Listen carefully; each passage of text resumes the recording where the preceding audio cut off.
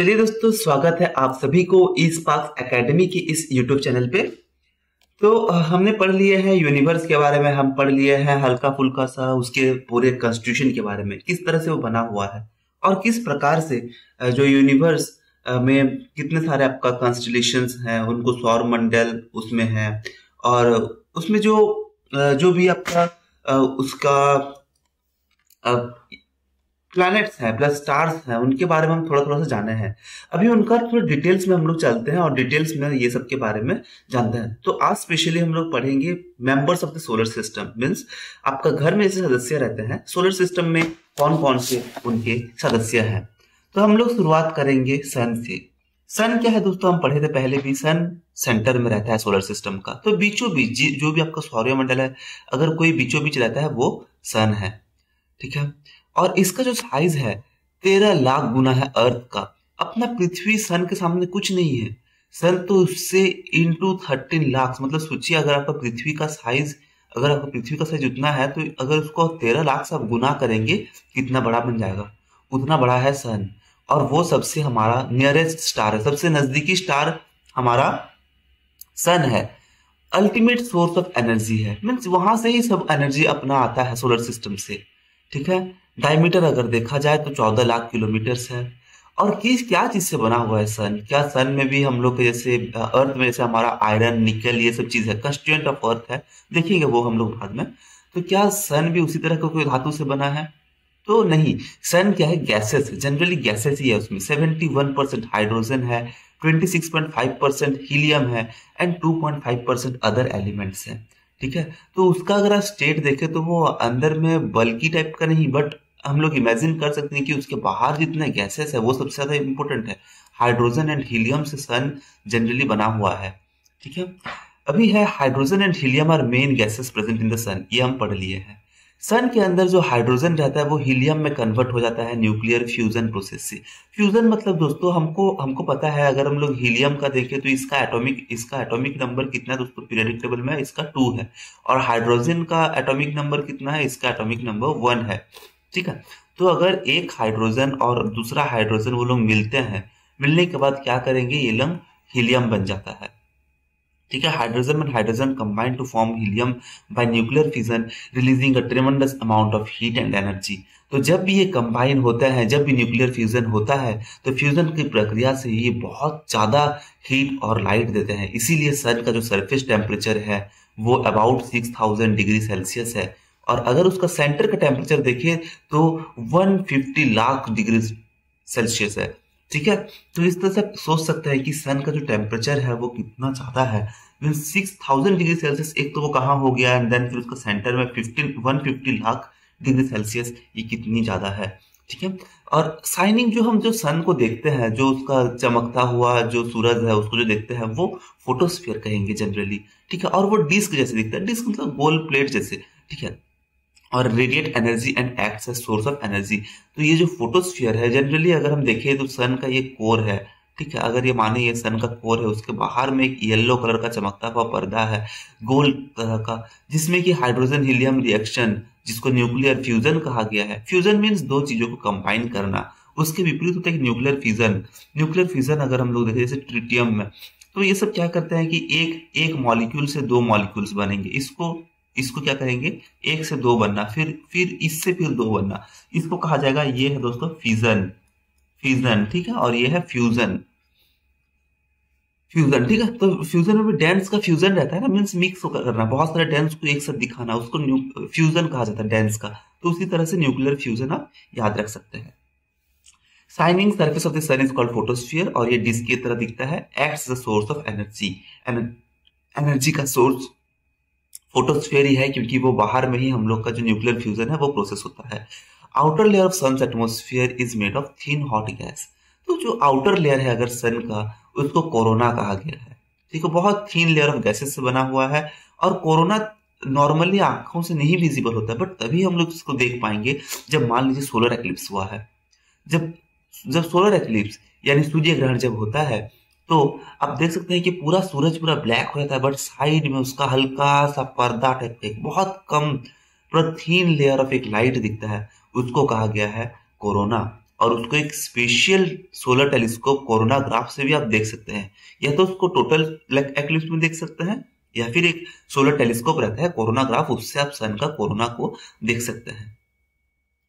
Planets travel with the sun through millions of stars in our galaxy at speed of 70,000 kilometre per hour ये ज़रूरी नहीं है। सन क्या है?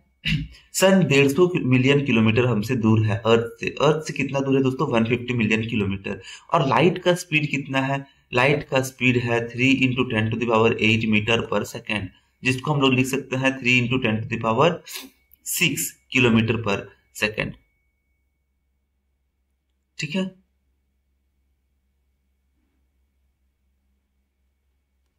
Three into ten to the power five kilometre per second ठीक है? Three into ten to five kilometre per second एक पाँच ज़ीरो है इसमें, ठीक है?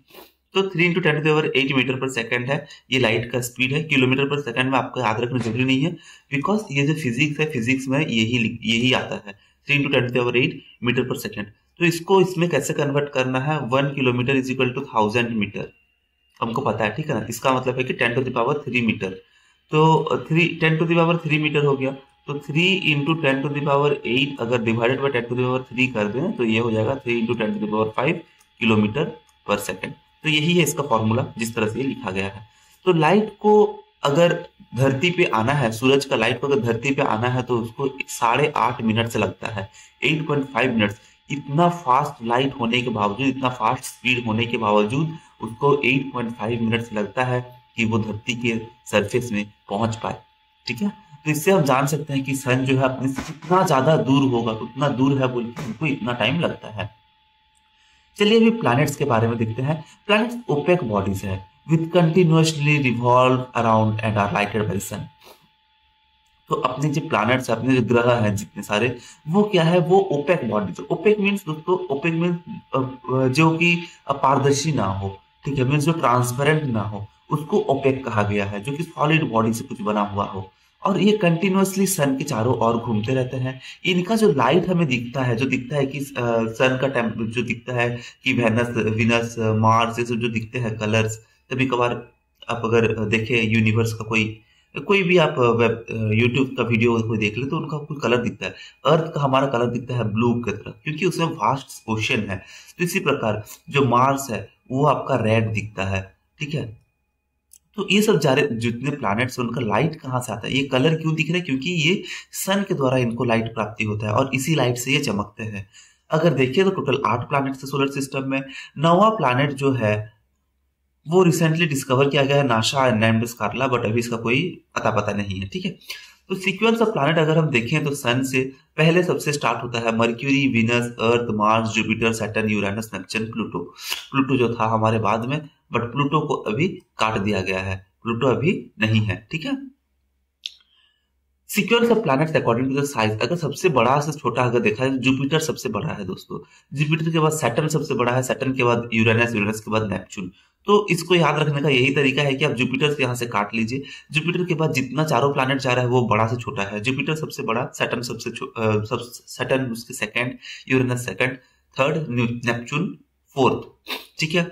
Then Earth Earth Venus Mars Mercury तो अर्थ दोस्तों, देखिए नेपच्यून के बाद तो प्लूटो आता है। प्लूटो तो है ही नहीं तो उसके बाद हम अपना अर्थ का ही प्रायोरिटी दे देंगे। अर्थ है अर्थ के बाद विनस है। अर्थ के बाद विनस है देन मार्स है देन मर्क्यूरी है। Mercury is the smallest planet ठीक है? जुपिटर सबसे बड़ा प्लैनेट है मर्क्यूरी सबसे छोटा प्लैनेट है सोलर सिस्टम का। क्लासिफिकेशन ऑफ़ प्लैनेट्स देखते हैं। चलिए क्लासिफिकेशन ऑफ़ प्लैनेट्स अगर देखिए तो आठ प्लैनेट्स को दो ग्रुप में डिवाइड किया गया है, ठीक है? और क्योंकि इनके कुछ फीचर्स हैं, ऐसे ही फीचर्स है, एक को हम लोग टेरेस्ट्रियल प्लैनेट्स कहते हैं और एक को जोवियल प्लैनेट्स कहते हैं। तो इसके बारे में हम पढ़े हैं पिछले क्लास में। टेरेस्ट्रियल प्लैनेट्स मतलब जो कि रॉकी प्लैनेट्स हैं, ठीक है? एंड जोवियल प्लैनेट्स मतलब जो कि गैसियस प्लैनेट्स हैं। तो इसमें रॉक्स मिलते हैं हम लोग को। रॉक्स कौन कौन सा प्लैनेट में मिलेगा दोस्तों? मर्क्यूरी विनस अर्थ मार्स ये जितने सारे प्लैनेट्स हैं, ये किसमें आएँगे? ये आएँगे आपका टेरेस्ट्रियल प्लैनेट्स में। और जोवियन प्लैनेट्स में कौन सा आएँगे? जोवियन जुपिटर से स्टार्ट करेंगे। जुपिटर सैटर्न यूरानस नेपच्यून ठीक है? तो ये सब अपना जोवियन प्लैनेट्स है, क्योंकि ये गैसियस से बने हुए हैं, ये गैस का जायंट्स हैं, ठीक है? तो four planets nearest to sun सबसे नियरेस्ट प्लैनेट अगर हम लोग देखें तो मर्क्यूरी वेनस अर्थ मार्स जो है, ये टेरेस्ट्रियल प्लैनेट है, क्योंकि इनका जो स्ट्रक्चर है सिमिलर टू अर्थ है। बट अगर उसी प्रकार हम देखें जुपिटर सेटन यूरानस और नेपच्यून को तो ये जोवियन प्लैनेट्स हैं। ठीक है? तो प्लैनेट्स को क्लासिफाई किया गया है और भी दो प्रकार से। एक को inner inner group and outer planet भी कहा जाता है। इनर प्लैनेट में ये जो भी टेरेस्ट्रियल प्लैनेट है, ये याद रख लीजिए। जो भी टेरेस्ट्रियल प्लैनेट है, जो कि अर्थ लाइक दिखते हैं, उनको इनर प्लैनेट कहा गया है। और जो कि जोवियन प्लैनेट्स हैं और गैशियस लाइक जो प्लैनेट्स हैं, इनको आउटर प्लैनेट कहा गया है। तो Mercury, Venus, Earth, Mars, terrestrial planet है, जुपिटर, सैटर्न, यूरेनस, नेपच्यून, ये आउटर प्लैनेट है। इनर प्लैनेट, सन के नियरर है। हमको ये चीज़ पता है कि मर्क्यूरी से ही, मर्क्यूरी का सबसे नज़दीक सन है, ठीक है? उसके बाद अगर हम दूर दूर जाएँगे तो जो जोवियर प्लैनेट्स है, उनसे सन दूर है, क्योंकि सन बीचों बीच है, ठीक है ना? उसके बाद Mercury, Venus, Earth, Mars, Jupiter, Saturn Uranus, Neptune, ये जो है उसके बाद। चलिए they are made up of dense metallic material क्योंकि ये रॉकी है, ये पत्थरी है तो इससे हम लोग जान सकते हैं कि इनका बहुत हाई डेंसिटी का मटेरियल होगा आयरन होगा निकल होगा, ये सब चीज़ उसमें मिल जाएँगे आपको। बट जोवियन प्लैनेट्स और आउटर प्लैनेट्स जो है, क्योंकि आउटर प्लैनेट्स तो जोवियन प्लैनेट्स है ना जनरली तो वो हॉट गैसेस से बना हुआ है जनरली हाइड्रोजन एंड हीलियम से, ठीक है? और ये रॉकी है, अगर कोई चीज़ मान लीजिए कि भारी भरकम होगा तो वो जब रोल करेगा, बहुत स्पीड से वो रोल करेगा, ठीक है ना? दे मूव फास्टर क्योंकि वो वो क्योंकि इतना भारी है, वो संभाल नहीं पाएगा। तो ये फास्टर घूमते हैं। But shorter period of revolution है इनका। शॉर्टर पीरियड ऑफ़ रिवॉल्यूशन ये चीज़ आपको हम समझाते हैं। देखिए, एक सन है।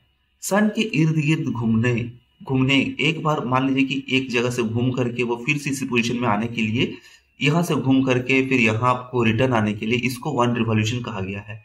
बट क्योंकि हमारे ये जो प्लैनेट्स है, भले ये मर्क्यूरी हो वीनस हो अर्थ हो, ठीक है? तो देखिए अर्थ है मार्स है एंड उसके दूर दूर है Earth Mars Jupiter Saturn Uranus Neptune तो अगर आप ये चार प्लैनेट्स को देखेंगे कलर चेंज कर लेते हैं, एक मिनट दोस्तों। हाँ तो अगर आप ये चार चार प्लैनेट्स को देखेंगे ये इनको कितना टाइम लगेगा? ये तो सन के पास ही है ये तो तुरंत घूम के चले आएगा ऐसे ये भी तुरंत घूम के चले आएगा वेनस अर्थ को भी थोड़ा सा घूमने में सिक्सटी फाइव डेज़ उसको लगेगा। देन आपका आएगा मार्स उसको भी थोड़ा सा टाइम लगेगा। बट जोवियन प्लानट ये बहुत दूर दूर है इनको यहाँ से वो जाएगा और इतना बड़ा फ़ील्ड को वो देखिए आप मान लीजिए आप एक स्टेडियम में है ये आपका स्टेडियम है एंड स्टेडियम के पास ये आपका एक, एक आप आग है। ठीक, आग में जो शादी कर रहा है, जो शादी करते हैं, वो आग के इर्द गिर्द घूमते हैं, ठीक है ना? उनको घूमना और स्टेडियम के चारों ओर घूमने में दोनों में अंतर मिलेगा मिलेगा कि नहीं दोस्तों? तो ये लोग जल्दी जल्दी घूम सकते हैं। सात फेरे लेना ये सोचो सात मिनट में सात फेरे हो जाएगा। बट इसको भी, इसको अभी सात फेरे लेने के लिए इसको अभी सोचना पड़ेगा कि वो खुद भी दौड़ेगा और पीछे पीछे उसको अपने, अपनी बीवी को भी दौड़ाएगा तो दोनों को ये टाइम भी लग जाएगा, ठीक है ना? तो जो भी है, जो अपार्ट तो क्योंकि ये लोगों का जो ऑर्बिट है, बहुत ज़्यादा, बहुत बड़ा है, इसीलिए उनको घूमने में रिवॉल्यूशन करने में टाइम कम लगता है। जस्ट यही चीज़ यहाँ पे दिया गया है दोस्तों अगर हम लोग देखें तो यही चीज़ यहाँ पे कहा गया है कि इनका शॉर्टर पीरियड है रिवॉल्यूशन का, क्योंकि ये जल्दी घूम के आ सकते हैं। उनका छोटा सा ऑर्बिट है, और इसका जो ऑर्बिट है, ये काफ़ी बड़ा है, ठीक है? तो इसको ज़्यादा लंबा टाइम लगेगा। ये थीन रॉकी क्रस्ट है का तो क्रस्ट मतलब सबसे बाहर का बॉडी और ये तो गैसियस बॉडी है। मेंटल आयरन और मैग्नीशियम से बना हुआ रहता है। अगर आप देखिए तो एक प्लानट का ये कोर रहता है। देन ये देखा जाएगा ये उसका मेंटल रहता है। एंड वो वाला मेंटल नहीं जो दिमाग से खराब हो।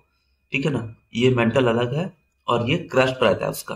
तो क्रस्ट बाहरी पर्दा रहता है, जहाँ पे कि आपका लिथोस्फियर पहाड़, पर्वत जो मिलेंगे उसका वो पहाड़ तो वो वाला एरिया में बड़ा हो गया। बट देन अगर हम देखें टोटल कंपैरिजन के हिसाब से अर्थ का, अंदर का तो क्रस्ट सबसे पतला है। तो क्रस्ट जो रहता है थीन रॉकी रहता है। मगर ये जोवियल प्लैनेट्स जो है आउटर प्लैनेट से गैसियस बॉडी है। ठीक है? इसका मेंटल जो है, ये देखिए rich in iron and magnesium है। बट ये फिर भी अभी भी गैसियस प्लैनेट है।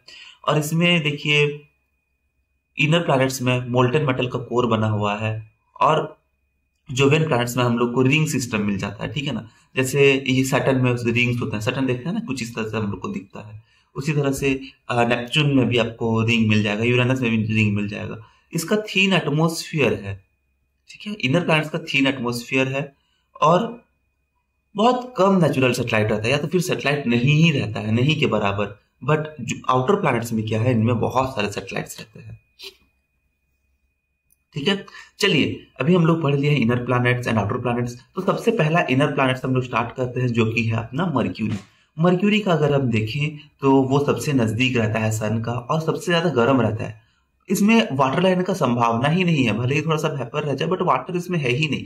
क्यों नहीं है? क्योंकि दोस्तों इसका टेम्परेचर इतना ज़्यादा है सन के इतना नज़दीक रहता है कि वहाँ पे वाटर एग्जिस्ट ही नहीं कर सकता।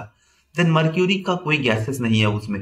Carbon dioxide nitrogen hydrogen oxygen ये सब कोई गैसेस उसमें मिलेगा ही नहीं, सब उड़ा देगा। सूरज के जितने पास आप रहेंगे, सब गैसेस उड़ जाएगा और खाली कुछ भी नहीं मिलेगा, बस पत्थर पत्थर मिलेगा, वो भी पूरा हॉट गर्म जगह। ठीक है, इसीलिए यहाँ पे कोई जीवन नहीं है। Life building blocks of life ही नहीं है। मर्क्यूरी का अगर हम देखें तो कोई प्रोटेक्टिव ब्लैंकेट नहीं है ओजोन जैसा, जो कि हार्मफुल रेडिएशन से बचा पाए। मर्क्यूरी में वो सब चीज़ नहीं मिलेगा, क्योंकि इसमें गैसेस ही नहीं मिलेंगे। अगर आपको ऑक्सीजन नहीं मिलेगा, ओजोन कैसे बनेगा? ठीक है ना? ओजोन का ओथरी रहता है। चलिए सेकंड प्लानट है वेनस ये सेकंड लार्जेस्ट प्लानट है सेकंड प्लानट है और सन की दूरी के हिसाब से सेकंड प्लानट है। तो ये अर्थ का नियरेस्ट है एंड दी ब्राइटेस्ट प्लानट है। ठीक है? ब्राइटेस्ट प्लानट सबसे ज़्यादा चमकता है ये। तो विनस जो है, इसको आप शाम में भी देख सकते हैं, इसको इसीलिए इवनिंग स्टार कहा गया है, और इसको सुबह भी आप देख सकते हैं, पूरा भोर भोर चमकता हुआ, सबसे ज़्यादा चमकता हुआ तारा टाइप का तो इसको मॉर्निंग स्टार भी कहा जाता है। विनस का मोटा क्लाउड कवर है, इसको इसीलिए वाइल्ड प्लांट कहा जाता है। वाइल्ड प्लांट दोस्तों मतलब क्या ना, एक मान लीजिए कि ये प्लानट है तो प्लानट क्या, अगर आपका प्लानट को पूरा घेर करके एक बहुत बड़ा क्लाउड रख दिया है, जो कि व्हील करके कुछ चीज़ को छुपा करके, कुछ चीज़ को कवर करके रखा हुआ है, उसको कहा जाता है वाइल्ड प्लानट ठीक है ना? तो ये क्लाउड से घिरा हुआ है, इसीलिए वाइट प्लानट कहा गया है। वीनस और अर्थ का साइज़ अगर देखा जाए और मास अगर देखा जाए तो लगभग एक ही जैसा है। इसीलिए इसको अर्थ का ट्विन कहा गया है अर्थ का जुड़वा कहा गया है। और ये भी क्लॉकवाइज रोटेट करता है लाइक यूरेनस ठीक है? तो यूरेनस एंड विनस जो है, ये क्या करता है? ये क्लॉकवाइज रोटेट करता है। बहुत इंपॉर्टेंट है दोस्तों, हमारा और सारे जितने प्लैनेट्स हैं, वो कैसे रोटेट करते हैं? एंटी क्लॉकवाइज ठीक है? बट विनस क्लॉकवाइज मतलब घड़ी की डायरेक्शन में, ठीक है? घड़ी का कांटा जिस डायरेक्शन में जा रहा है, ये है आपका क्लॉकवाइज क्लॉकवाइज और ये है आपका एंटी क्लॉकवाइज तो घड़ी का कांटा जो अपोजिट डायरेक्शन में जब घूमेगा, उसको एंटी क्लॉकवाइज कहा जाएगा।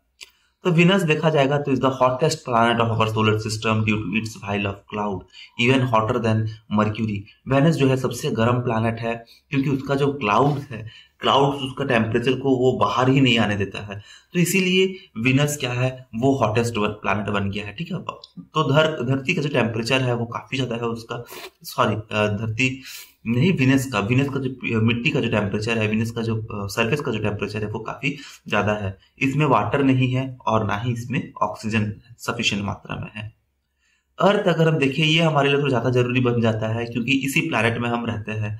तो अर्थ जो है लार्जेस्ट प्लैनेट है इनर प्लैनेट का, ठीक है? तो इनर प्लैनेट में हम लोग देख लिए अर्थ था अर्थ के बाद कौन है दोस्तों? विनस है। विनस के बाद कौन है? विनस के बाद मार्स है। मार्स के बाद सबसे छोटा आता है हमारा मर्क्यूरी। ठीक है ना? उधर हम लोग अगर स्टार्ट करें जुपिटर सैटर्न यूरानस नेपच्यून तो नेपच्यून के बाद नेपच्यून से छोटा है अर्थ अर्थ से छोटा है विनस विनस से छोटा है मार्स मार्स से छोटा है मर्क्यूरी। ठीक है? तो मर्क्यूरी सबसे स्मॉल है। तो ये हम लोग देख लिए कि इनर प्लैनेट का सबसे लार्जेस्ट प्लैनेट है। अर्थ का जो एक्सिस है वो 23 एंड हाफ़ डिग्री टिल्टेड है and make 66 and half degree angle तो अगर अर्थ का अगर हम एक्सिस देखें, ये अर्थ मान लीजिए अर्थ है और ये उसका 90 डिग्री है तो अर्थ क्या है ना 20 इसका एक्सिस ये है, वो इस तरह से रोटेशन करता है।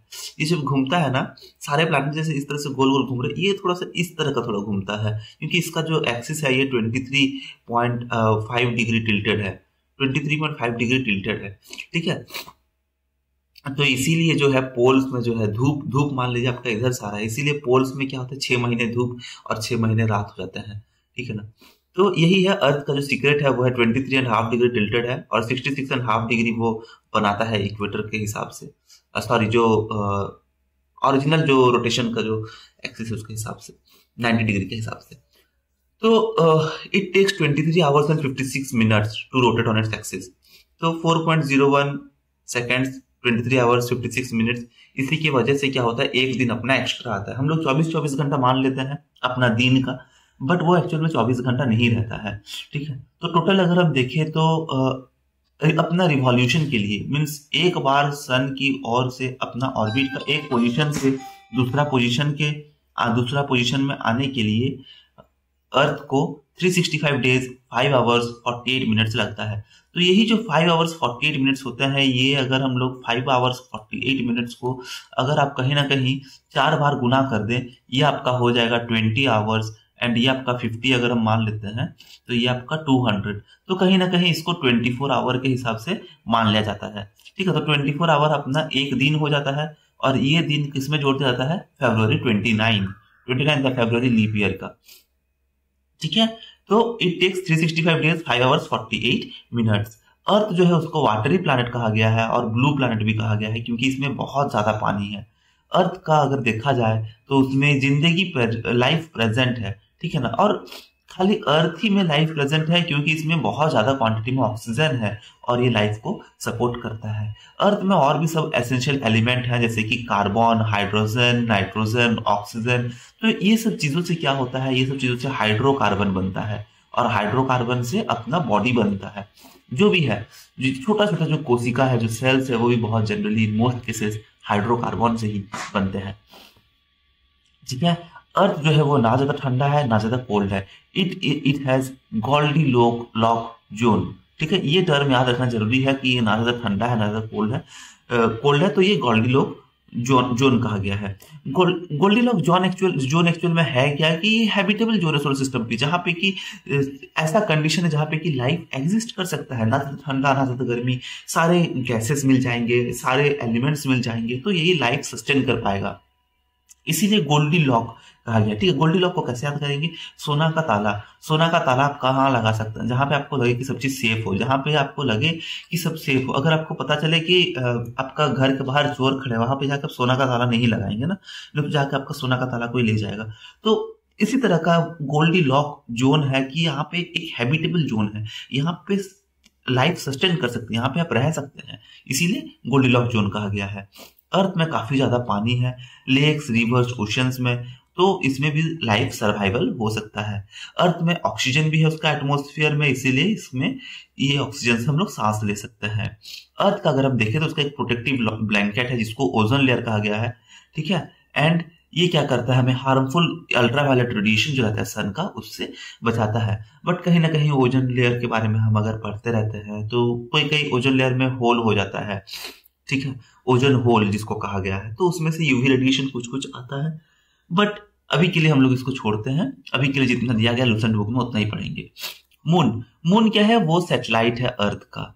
और मून का डायमीटर है three four seventy five kilometre उसका circumference one zero eight six four तो डायमीटर और सरकमफ्रेंस में क्या है दोस्तों? डायमीटर आपका ये ये अगर आपका बॉल है ना तो बॉल का एक साइड से दूसरा साइड ये जो है, ये आपका डायमीटर है। अगर आप उसको बॉल को बीच से काट दे, उसका एक सेंटर पॉइंट मार्क करें और आप देखें कि उसका एक साइड से दूसरा साइड तक ऑन दी सेंटर सेंटर में ही वो होना चाहिए। ये नहीं कि आप ये ये जगह में देख रहे हैं। सेंटर में अगर उसका डिस्टेंस देखें, इसको डायमीटर कहा गया। और सरकमफ्रेंस मीन्स बॉल का आप एक पॉइंट से स्टार्ट करिए और उसको एक रस्सी से ले करके फिर उसी पॉइंट में आके खत्म करिए, वो उसका सरकमफ्रेंस होता है, उसका चारों ओर का। ठीक है? और मून का भी एक इलेप्टिकल ऑर्बिट है। तो ये एक इंपॉर्टेंट क्वेश्चन है मून का ऑर्बिट सर्कुलर है या और इलेप्टिकल है? तो मतलब जो अर्थ है अर्थ के साइड में जो मून भी जो घूम रहा है मीन्स मून तो जो रहेगा, उसका जो ऑर्बिट है, वो जो घूम रहा है, उसका ऑर्बिट भी इलेप्टिकल है सर्कल नहीं है, चिपटा है। अगर आप ऊपर से देखें तो कहीं इस तरह का है वो। ठीक है, और ये हमारा अर्थ है, और ये अपना मून है। मैक्सिमम डिस्टेंस जो कहा गया है, मून का अर्थ से उसको एपोजी कहा गया है। ठीक है इक्विनॉक्स पेरिनॉक्स हम लोग वो सब पढ़ेंगे बाद में, और मिनिमम डिस्टेंस जो उसको पेरिजी कहा गया है। तो मैक्सिमम डिस्टेंस अर्थ से वो कितना होता है? Four lakh six thousand kilometre रखता है। मिनिमम डिस्टेंस मतलब ये जगह में आपका मिनिमम डिस्टेंस आएगा, है ना? और ये जगह में आपका मैक्सिमम डिस्टेंस आएगा। ठीक है? तो उसको three six four zero zero zero kilometre है आपका सबसे minimum distance moon total 27 days 7 hours and 43 minutes लगाता है रोटेट करने के लिए अपना एक्सिस में। ठीक है? तो 27 एंड हाफ़ डेज़ इसको कंसीडर कर दिया गया है। इसको कहा गया है साइडरल मंथ और अप्रोक्सीमेटली उसी टाइम लगभग उसी टाइम में हमारा अर्थ भी क्या होता है? एक रिवॉल्यूशन कर लेता है। Mean same period of time it takes to revolve around the earth तो क्या है ना कि मान लीजिए कि ये आपका अर्थ है। ये आपका अर्थ है।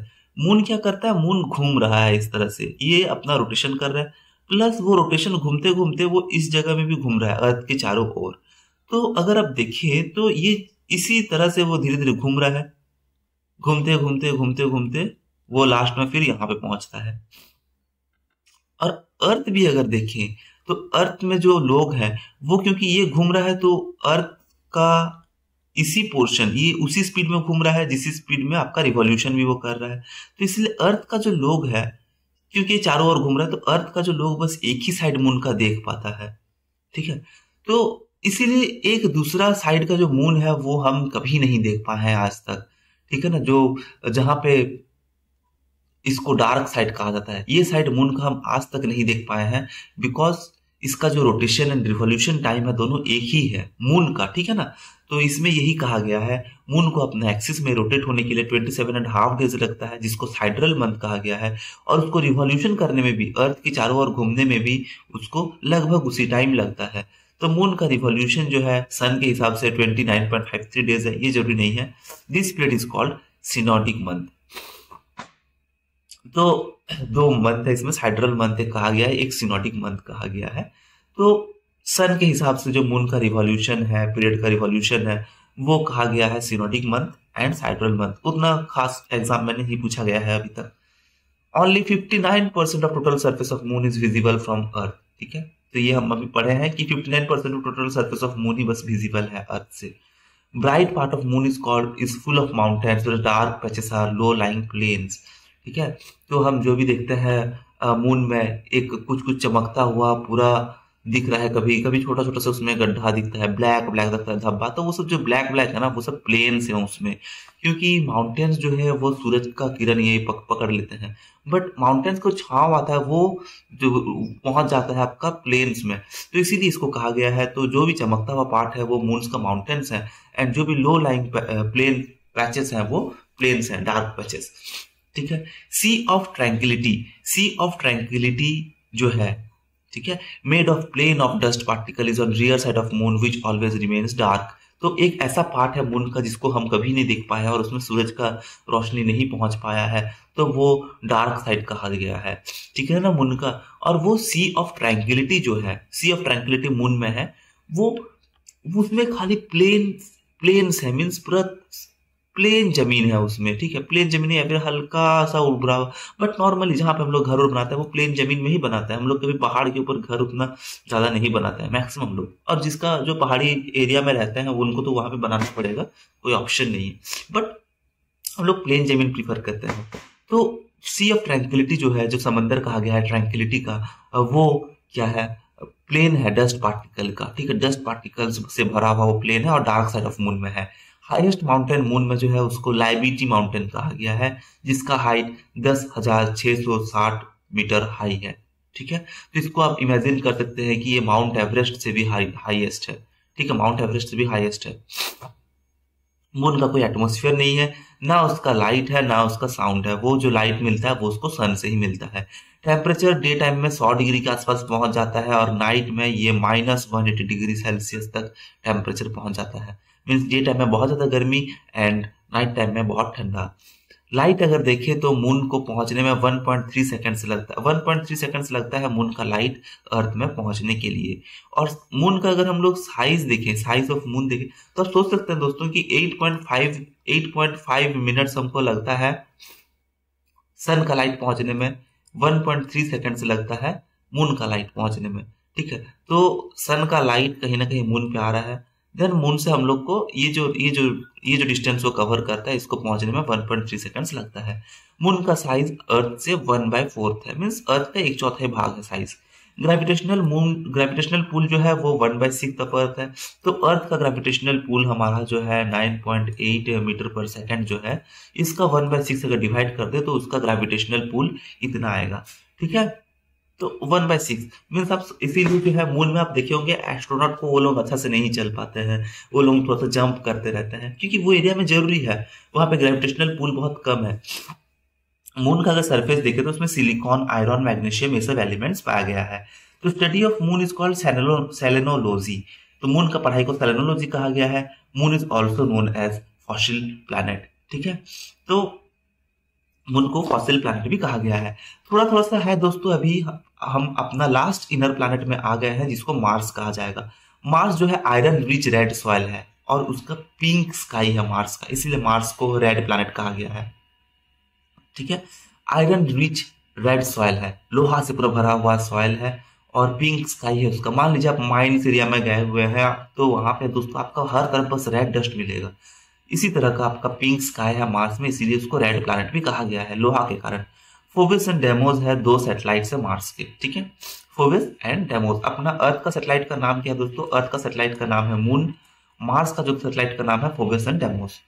चलिए, हम लोग अभी आते हैं आउटर प्लैनेट में, जुपिटर। जुपिटर जो है लार्जेस्ट प्लैनेट है, और इसको विंटर प्लैनेट भी कहा गया है, क्योंकि इसका जो टेम्परेचर है वो minus one forty eight degree Celsius तक पहुँच जाता है जुपिटर का। ठीक है? हमारा मून का temperature minus one eighty degree Celsius तक पहुँचता है, ठीक है? ये बट ये मून का है, ये प्लैनेट का नहीं है। तो सबसे ठंडा प्लैनेट अगर कहा गया है minus one forty degree Celsius है इसका तो इसको विंटर प्लैनेट कहा गया है। इसका एक सेटेलाइट है जो कि गैनीमेडा है गैनीमेडा गैनीमेडा जो है लार्जेस्ट सेटेलाइट है सोलर सिस्टम का। तो अच्छा चीज़ है दोस्तों जुपिटर का एक चीज़ कि जुपिटर एक लार्जेस्ट प्लैनेट भी है लार्जेस्ट प्लानट है प्लस इसका सेटेलाइट जो है, जो इसका सेटेलाइट जो इसका जो मून है इसको कहा गया है गैनीमेडा इसका जो सेटेलाइट है, वो भी लार्जेस्ट सेटेलाइट है सोलर सिस्टम का। चलिए सैटर्न सैटर्न क्या है? अपना सेकेंड लार्जेस्ट प्लैनेट है। और इसमें जो, इसका जो कॉन्सेंट्रिक रिंग्स है, ये आइस और आइस कवर डस्ट से बना हुआ है। तो कॉन्सेंट्रिक रिंग्स मतलब क्या सैटर्न के चारों ओर जो हम देखते हैं ना सैटर्न को इस तरह से बनाता है। तो ये जो रिंग है, ये जनरली आइस से बना हुआ है। और ये डस्ट पार्टिकल आइस और डस्ट पार्टिकल से बना हुआ है और ये सैटर्न के चारों ओर घूमते रहते हैं। ठीक है? सेकंड लार्जेस्ट है प्लस टाइटन टाइटन जो है सैटर्न का सैटर्न का जो है, वो लार्जेस्ट सेटेलाइट है। ठीक है? सैटर्न में और भी सेटेलाइट है बट टाइटन इसका लार्जेस्ट सेटेलाइट है। ठीक है? गैनीमेडा क्या है? सोलर सिस्टम का लार्जेस्ट सेटेलाइट है। सैटर्न जो है टाइटन जो है, वो सैटर्न का लार्जेस्ट सेटेलाइट है। यूरानस यूरानस जो है, उसका साइज़ अगर हम देखें तो अर्थ से चार गुना बड़ा है। ठीक है? और ये greenish in colour green in colour दिखता है, क्योंकि इसमें मिथेन गैस है एटमोस्फेयर में। तो इसका जो मिथे, इसका जो एटमोस्फेयर में मिथेन गैस है, ये याद रखने का एक पॉइंट है। तो यूरेनस का डिस्कवरी 1781 में किया गया था, सर विलियम हर्सेल द्वारा, और ये सेवेंथ प्लैनेट है सोलर सिस्टम का। यूरानस एक ऐसा प्लैनेट है जिसको टेलीस्कोप द्वारा पहली बार आविष्कार किया गया था, जिसको पहली बार टेलीस्कोप द्वारा देखा गया था। ठीक है ना? इसको क्यों देखा गया? क्योंकि ये जनरली थोड़ा सा बड़ा प्लैनेट है, इसीलिए इसको देखना थोड़ा आसान था। And is the first planet to have been discovered by the use of telescope ठीक है?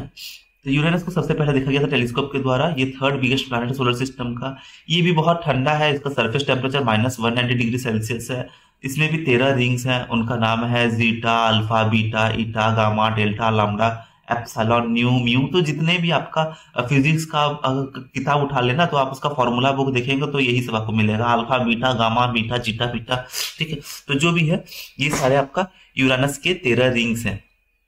यूरेनस क्या है? वो ईस्ट टू वेस्ट रोटेट करता है अपना एक्सिस में which is opposite to other planets except Venus तो ये हम लोग पहले भी पढ़ लिए हैं। यूरानस एंड विनस दो चीज़। यू वी ये क्या करता है? ये ईस्ट टू वेस्ट रोटेट करता है। इन क्लॉकवाइज डायरेक्शन रोटेट करता है। ठीक है ना? तो ईस्ट टू वेस्ट बट अलग सारा प्लैनेट क्या है? West to east anticlockwise rotate करते है। सॉरी ये जो ये जो आपका सिंबल है, ये आपका क्लॉकवाइज का है, ये आपका एंटी क्लॉकवाइज हाँ। ठीक है। तो ये क्लॉकवाइज का है, ये एंटी क्लॉकवाइज का है, ठीक है। East to west east to west rotate कर रहा है, ये west to east axis of Uranus जो है, वो has large inclination so that it appears to be lying down hence it bears the name a planet on its sides तो जिस तरह से हम देखे थे कि अर्थ का जो एक्सिस है अर्थ क्या करता है? इस तरह का वो घूमता है, ठीक है ना? वो इसी तरह घूमता है अर्थ उसका मूवमेंट कहीं इस तरह से वो घूमते रहता है वेस्ट टू ईस्ट इसी इसी रोटेशन में, इस तरह से, सीधा नहीं।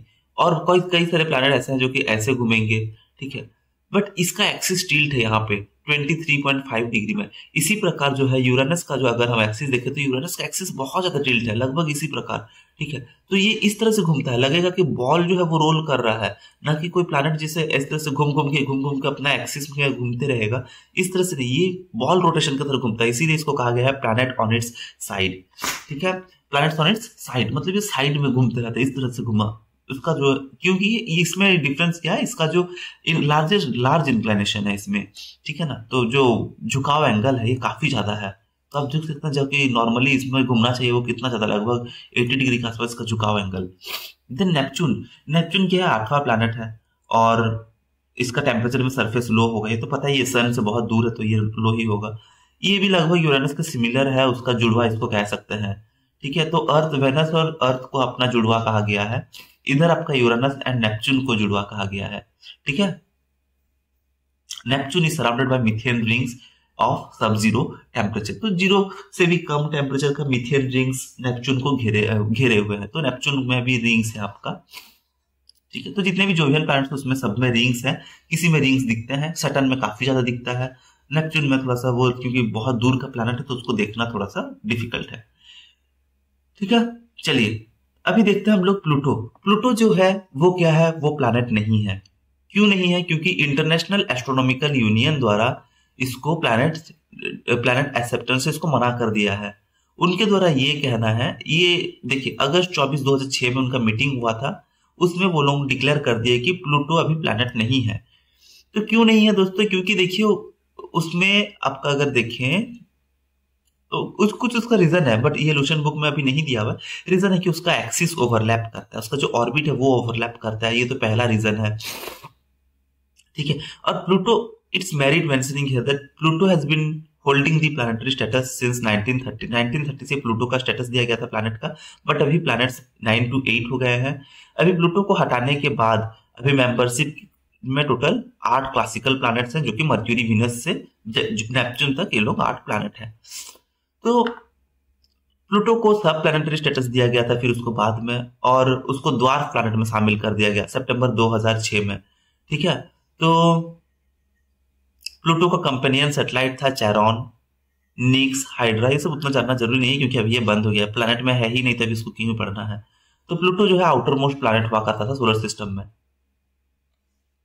तो ये कब का बात है? 24 अगस्त 2006 को। 2007 दो, फिर सितंबर में तो आपको प्लूटो को हटा दिया गया एंड देन टोटल ये प्लैनेट्स थे। तो ये कुछ कुछ डेटा है, इसको जनरली हम नहीं पढ़ेंगे। ये क्योंकि याद रखने वाला डेटा है, इसको उतना नहीं, थोड़ा मोड़ा सा कुछ कुछ याद रहेगा तो उसको याद कर लीजिए। ठीक है? तो आज के दोस्तों इतना ही। हम लोग फिर मिलते हैं नेक्स्ट क्लास में, जहाँ पे हम लोग एस्ट्रोराइड्स मेटोराइड्स कॉमेट्स सब चीज़ों के बारे में पढ़ेंगे। चलिए, तब तक आप अपना पढ़ाई बनाए रखिए। मिलते हैं फिर। All the best.